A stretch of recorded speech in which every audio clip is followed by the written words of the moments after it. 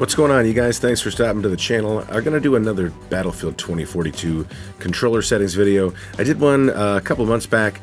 It did very well, and I appreciate you guys coming by and listening and um, using the settings. It seems like it worked pretty well for you. Now, there have been uh, a handful of updates since that time, uh, bug fixes, patches, things like that. Um, inevitably, when those things happen, so do certain settings preferences. So we're going to do a new video today. I hope you enjoy this. Uh, let me know in the comments if this works for you. I hope maybe you'll consider liking this video, maybe subscribing to the channel if you haven't already. Let's get into it.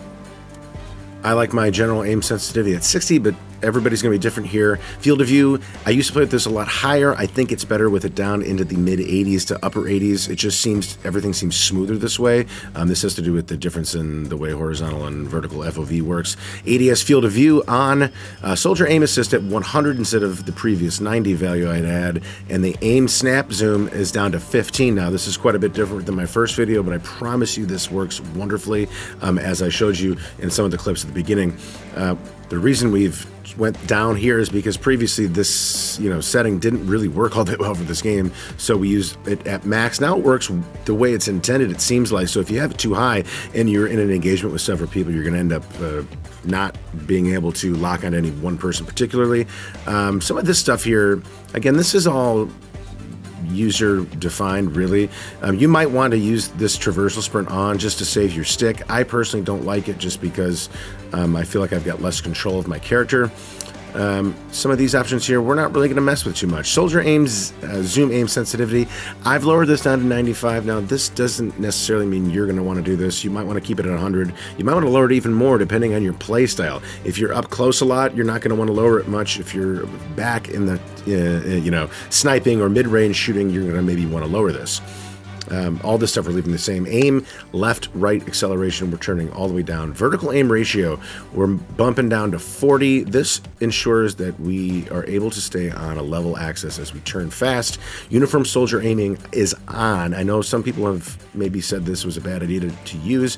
I think that's incorrect because this really helps smooth out the game. And then we've turned out the coefficient down to zero. All this stuff we're leaving at 100 as we have that uh, uniform soldier aiming on.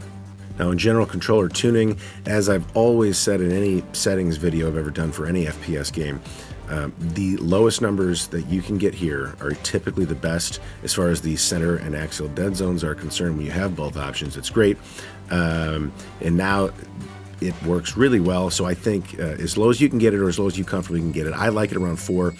Um, three and a half. I play with it at one. I, I, like it anywhere, but I'm thinking three and a half to four is what's going to work for most people without having to worry about stick drift.